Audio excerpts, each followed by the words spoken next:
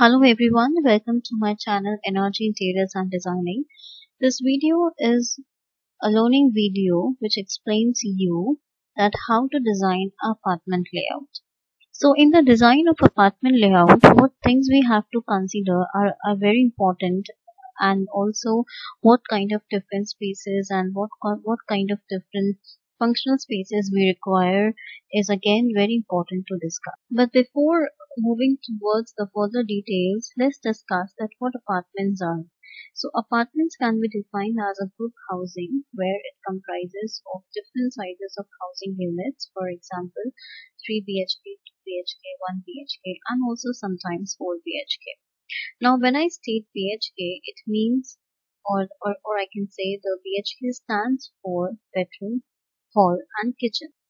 So what things we have to consider are the functional spaces, natural light and ventilation of course which is very important and another important thing is the building services. Now for example, for functional spaces, we have to consider all the spaces which are arranged in a way so that we could get the proper circulation, workspace and also storage for the bedrooms and kitchen area. So moving further, let's discuss the different layouts. So the first layout in the apartment design is the 3 BHK. So when we design flats such as 2 BHK or 3 BHK, there are plenty of options available for the arrangement of rooms and spaces. But here I have come up with one option and that option is basically a unit which is of 110 square meters in area and that is of basically one single unit. So moving further with the design, this is a layout of 3 BHK and here it shows the entrance as you can see in the layout which takes us to the living area and the dining area which are the common spaces. Also this unit has a common passage which takes us to the bedrooms. Therefore there are three bedrooms and two of them are being designed with the attached toilet and one of them is being designed with the balcony. All the three bedrooms are very well ventilated with the windows where we can get the natural light and ventilation. And also all the three bedrooms are being furnished for the storage purposes. So this is the common dining area and this has a common sit out which gives the illumination to the entire housing unit. This is the kitchen of the unit and this kitchen is designed in U shape also, this kitchen is being incorporated with the wall hung cabinets as you can see in the layout for the storages purposes in the kitchen. There is also a store in the unit, but this store can also be used as a feature room. So this is one of the options uh, that we can get from uh, 110 square meters of area. The arrangements of the spaces in the housing unit can be changed depending upon the design but this is the most functional and the symmetrical design that we can get. Another type of layout is 2 BHK and in the design I have taken the example of 90 square meters. As you can see in the design, this is the main door which takes us to the common living room and the dining room this is the common passage as you can see in the layout and this is basically 1.2 meters wide. This passage takes us to the master bedroom which has been designed with the balcony and also the toilet. Then the second bedroom which is uh, has the size of 3.4 meters by 3 meters and also both the bedrooms are being furnished and properly designed with the windows, especially the glass windows for air circulation and ventilation.